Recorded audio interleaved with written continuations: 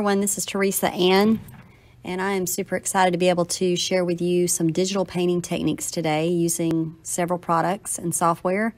Um, the main one that I use is Adobe Photoshop. I use a pen tablet with a pen and some of the, the uh, oil painting brushes that come with the Adobe products.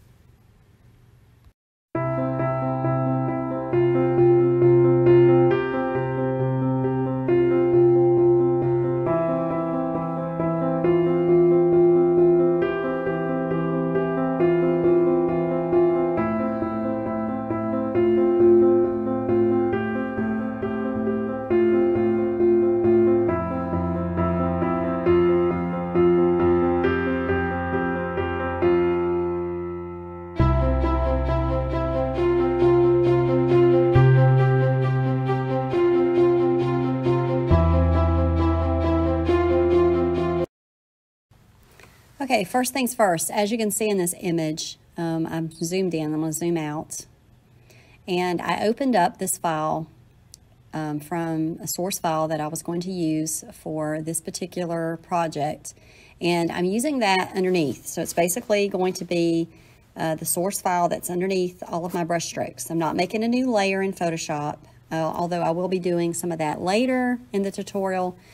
Um, I will be using my pen tablet and as you can see here, I am sampling using the Alt. I'll click and hold the Alt key and use the left mouse button and sample in multiple areas.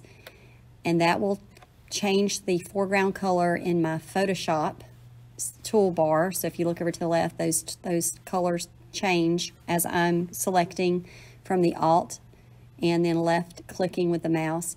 And as I do that, then I go back and forth. I let go of the Alt, and then it goes back to my paintbrush. I'm using the Kyle oil painting brush that is supplied with the Photoshop Adobe account. Um, most of those brushes are automatically uh, in the account, but if you need uh, any more brushes, you can always go to adobe.com and download more Kyle brushes. Um, I like to use the oil painting brush. Okay, so I'm continuing to sample and then that's Alt and left click with the mouse button. I zoom into Photoshop. And then as I'm not, after I sample, I use my pen on my tablet and I click and I drag across as if I were painting and it gives me the brushstroke look, even the small details of a brushstroke where you can kind of see what debris is left as you are brushing a color if you were using a real um, paintbrush, it will allow you to see how thick your brush stroke is. So the more pressure I put on my tablet, the thicker the paint is applied. Uh, less pressure gives me more um, debris on the edges and kind of a lighter look and maybe blending. So when I'm trying to blend, I go a little lighter as I'm creating my, uh, my paint and mixing. So uh, again, I'm constantly resampling.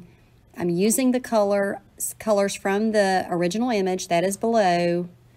Um, now, if I wanted to do this from scratch and I just wanted to take my picture and put it to the side and just freehand it, there's you can you can do that. That's there's not a a right, right way or a wrong way, um, but I'm going to choose to me what works best is using that underneath because I want to have those colors match and it's it's easiest to do that. And it also helps with proportion. And so why not make it easy for you when you're doing this to just do it in that way? I mean that's some of the great benefits of being able to use the Kyle brushes and have a picture underneath as your resource file. But as you see me working you're going to notice that I build up and I change things and I change the contrast and I add to it. And that's just part of the artist.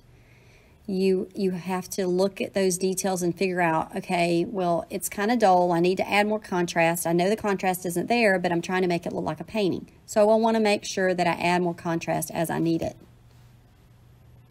I can't say enough how you really do need to constantly sample to get the colors correct and the blending correct while you're working on this. It's like having a paint palette in front of you, and every time you go to resample, you're adding that color to your palette and you're using it as you work right on top of the picture. uh, Photoshop used to, and you still can use it, but there's this thing called the smudge tool. And in before they had Kyle brushes and other types of brushes out there, you could smudge a, a picture and make it kind of look like a painting, but it was never that great. With the new Kyle brushes and the new technology in uh, brush creation with Photoshop and other programs that are out there, you now have it to where you can make a brush stroke look exactly like the real deal. So, um, with technology change, this has really helped out the artist, the digital artist, to create a more cohesive look as a, to a painting as opposed to something that might would look filtered. And the great thing about this is the high quality of the brush. So you can have a digital painting, uh, a very large digital painting that you create, and you would be able to make very good detail with these brushes. Um, but as you can see, I'm using the same technique. I'm going to continue to Alt, click, left mouse button to sample, and then as I do that, then I will continue using my brush, changing the size by right clicking with the mouse button. I can immediately get the dialog box to pop up for the size so that I can consistently change in and out, going back and forth as I'm sampling. Um, and it's just a process of uh, experience. The more you do this, the better you're going to get with it. And the first painting you do, you may not like it that much, but about two or three years later, if you if you stick with it, and the more you do, the better you get with it. So practice makes perfect, or close to it.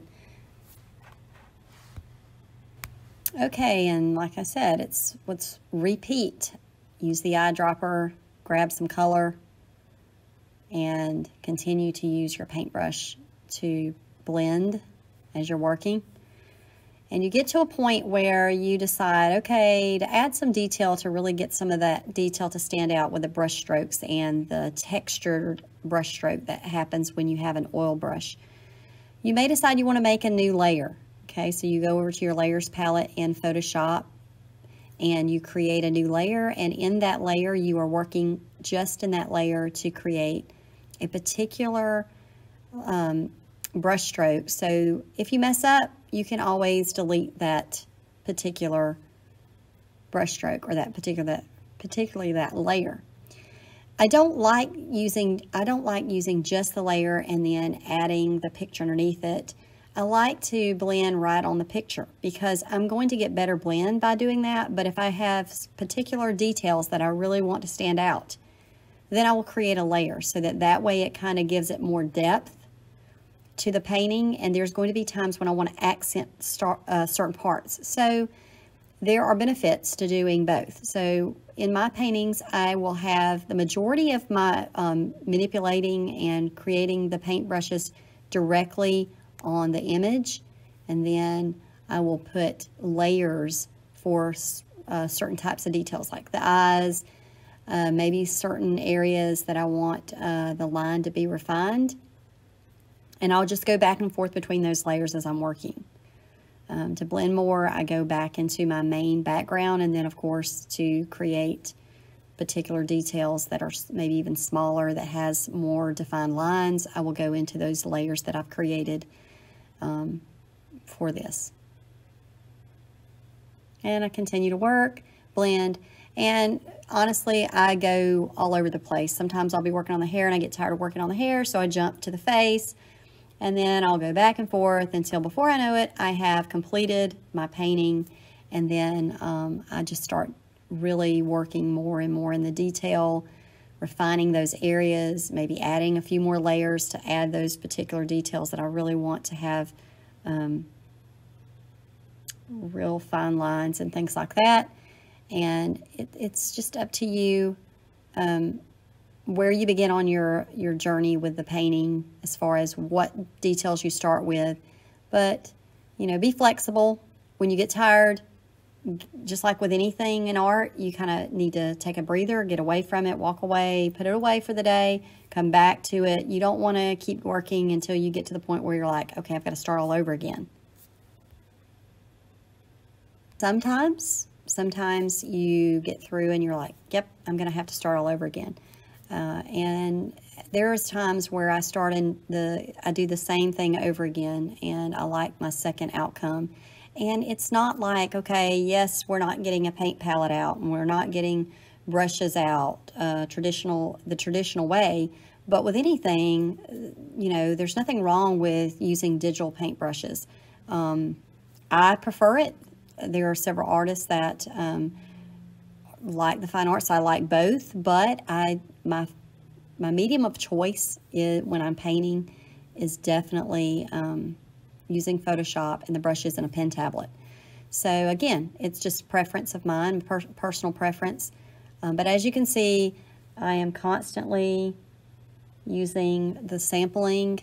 I go back and forth between uh, the dropper and then of course my brush. But as you'll notice over um, in the in the toolbar, I will go into my foreground and I will, every now and then, I'll add some white accents so that I can have that pop on my paintings where I have that contrast that I need that maybe the original picture does not give me. So I want to add those things as I need it.